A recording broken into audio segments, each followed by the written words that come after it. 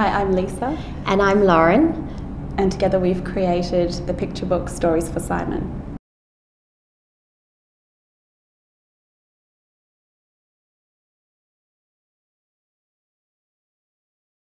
When I heard Kevin Rudd's national apology to the stolen generations in February 2008, my eldest child was 18 months old, and I tried to imagine what it would be like if a government official came into my home, removed my child, and I had the real possibility of never seeing him again.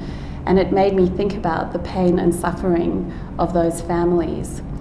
And, and Lauren and I have been friends for a very long time. And at the time of the national apology, we were both, we'd recently become mothers. And so the emotional impact of the national apology was very significant, and we felt as though we could empathise with the mothers. And so we had many conversations about what saying sorry actually means, and if there was anything that we could do to be part in some way of a healing process.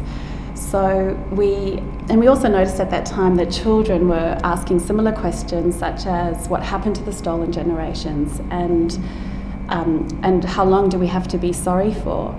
And we came to the conclusion that our job as mothers was to teach our children about the stolen generations and to remind them that we all have a part to play in creating a harmonious and inclusive and respectful and positive society.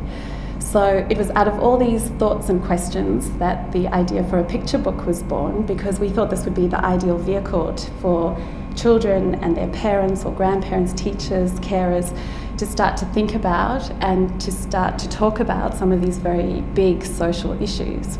So I wrote the story, and Lauren, who is a graphic designer and artist, created the beautiful illustrations.